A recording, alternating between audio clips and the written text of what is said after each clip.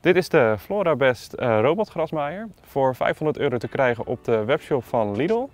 Wij hebben hem geprobeerd en in dit filmpje zie je wat we ervan vinden. Om te beginnen die prijs. 500 euro voor een robotgrasmaaier van de Lidl. Is dat nou echt wel zo goedkoop?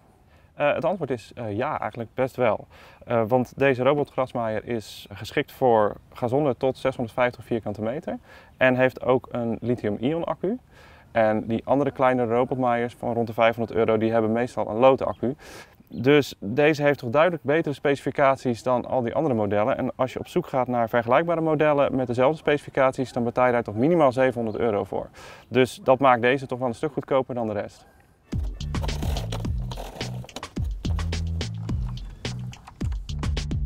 Nou, hoe werkt deze robotgrasmaaier? Uh, in principe hetzelfde als elke andere robotgrasmaaier. Uh, deze maaier zelf uh, heeft een motor en een accu. En dit is het laadstation, die sluit je aan op het stopcontact. En de robotmaaier kan zichzelf in het basisstation laden en met deze twee pinnen wordt de accu dan opgeladen. Het basisstation zorgt er dus voor dat de robotgrasmaaier opgeladen wordt. Maar hoe weet de robotgrasmaaier nou waar je gazon begint en waar het ophoudt? Nou, daarvoor heb je deze begrenzingsdraad nodig. Je krijgt er 150 meter bijgeleverd. En die draad moet je dus rondom de grenzen van je gazon plaatsen. En die komt dan aan twee kanten van het basisstation moet je die dan aansluiten en dan moet je een volledige lus maken. En het basisstation stuurt dan een stroompje door dat uh, draadje heen. En die robotmaaier kan het stroompje detecteren en daardoor weet de robotmaaier waar de grenzen zijn.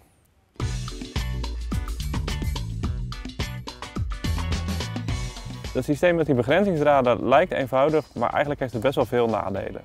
Eén belangrijk nadeel is dat je nooit echt goed langs de rand van een obstakel kan maaien. Volgens de handleiding geven ze aan dat je een bepaalde afstand tot de rand van een obstakel moet houden.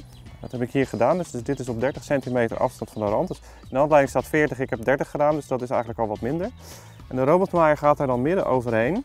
En de maaibreedte is 18 centimeter, dus dat is 9 centimeter aan twee kanten. Dus dit is de strook die die maait.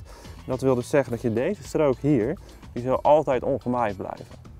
En dat is wel een groot nadeel, want het is best wel een groot stuk van je gazon wat dus nooit gemaaid gaat worden door een robotmaaier.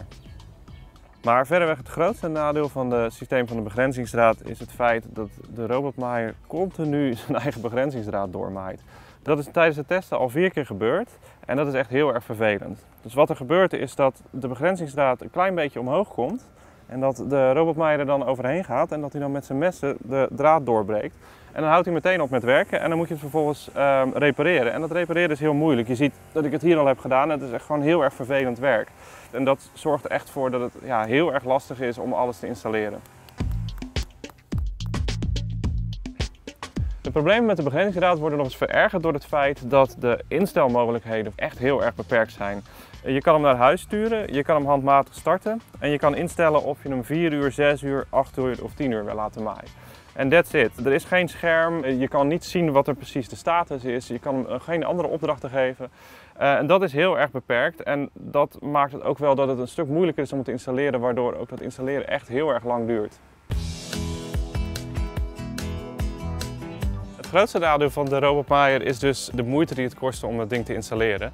We hebben er ongeveer 20 uur in gestoken en eigenlijk hebben we nog steeds op dit kleine stukje gras niet echt een werkend uh, testgebied. Dus ja, dat is gewoon heel erg veel moeite. Het kost gewoon echt heel veel tijd. Daarnaast zijn er nog twee andere nadelen aan uh, deze robotmaaier. Dat is eigenlijk vooral het gebrek aan opties. Uh, hij mist er dus twee belangrijke in, in mijn ogen. De eerste is een regensensor. Veel andere robotmaaiers hebben een regensensor en die detecteert dus of het regent buiten. En als het regent gaan ze niet maaien. dat is niet per se nodig voor de robotmaaier zelf, want die is waterdicht. Maar dat is wel goed voor het gras, want het is beter om het gras niet te maaien als het nat is. En bovendien kan het natuurlijk als het heel erg regent, kan die robotmaaier makkelijker vast blijven zitten. Ik denk dat dat echt wel met deze maaier een serieus risico is, want ja, het heeft nu twee weken niet geregend, maar hij blijft af en toe ook al in stukken waar geen gras is een beetje vastzitten. Dus ik denk dat als het hard geregend heeft en veel modder ligt, dat hij heel erg makkelijk zichzelf vastrijdt. Het tweede groot gemis is enige vorm van diefstalpreventie. Dus is geen enkele vorm van alarm of nou ja, iets wat ervoor zorgt dat je de motormaaier niet gewoon uit je tuin op kan pakken en mee kan nemen. En dat vind ik eigenlijk wel een gemis. Is er dan helemaal niets positiefs te zeggen over de robotmaaier van de Lidl? Nou, dat valt nou ook wel weer mee. Want ik vind dat hij goed maait en ik vind ook de constructie voelt solide aan en hij voelt eigenlijk helemaal niet aan als een budgetmaaier. Dus dat is positief.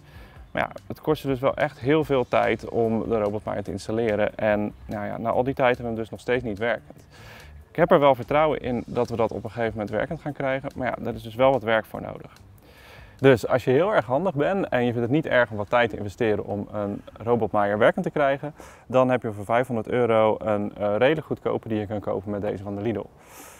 Um, maar als je denkt dat je dit apparaat kan kopen en hem binnen een dagje werkend kan krijgen, dan kom je waarschijnlijk bedrogen uit en is deze niet voor jou.